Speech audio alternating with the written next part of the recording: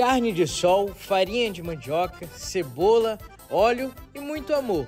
Esses são alguns dos ingredientes de um prato roraimense que representa um dos símbolos da cultura do estado. Uma lei, inclusive, garantiu que ela se tornasse patrimônio cultural. O nosso recorde foi de 1 tonelada e 131 quilos.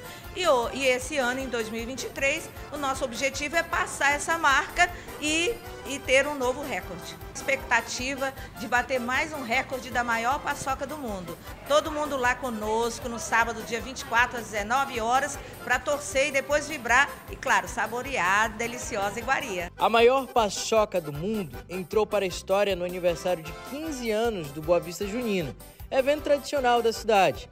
Essa é a sétima edição e a meta é bater um novo recorde.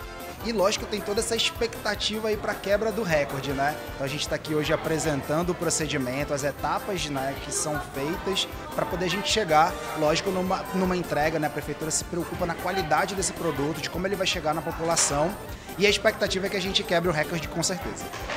Superar os mais de 1.100 quilos de paçoca não é uma tarefa fácil, coisa que precisa de empenho de uma equipe inteira com ações diferentes. Aí a gente utiliza aí de umas 10 pessoas para poder dar conta dessa demanda, que é mais de uma tonelada, né? Então começa assim, o pessoal corta a carne corta assim. A carne, aí depois de cortar a carne, a gente vai para frita a carne, né? Depois da carne frita já, a gente vai para a forrageira com a farinha já. Aí já naquele, sai daquele processo cru depois ela vai para finalização, que é no óleo e na cebola. Então a carne ela é frita nesse estado aqui, ela Isso. nesses cubículos. Isso.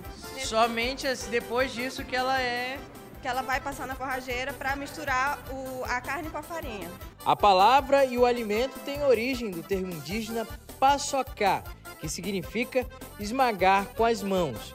É uma referência ao modo antigo de preparo nas comunidades em que a farinha e a carne eram esmagadas em um pilão. Quando a iniciativa começou em 2015, a paçoca era produzida de forma mais artesanal, utilizando fogão a lenha e utensílios feitos de barro. Como a quantidade aumentou, agora a produção acontece de forma industrial.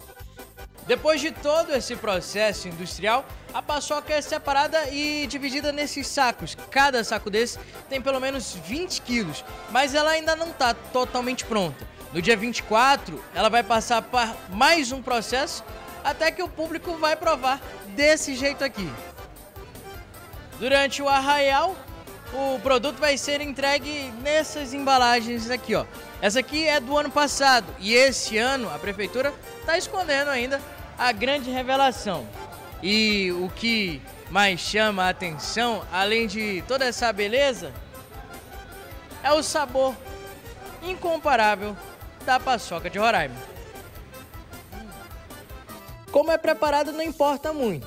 Importante mesmo é manter as características culturais e o sabor desse patrimônio que a população não vê a hora de provar mais uma vez.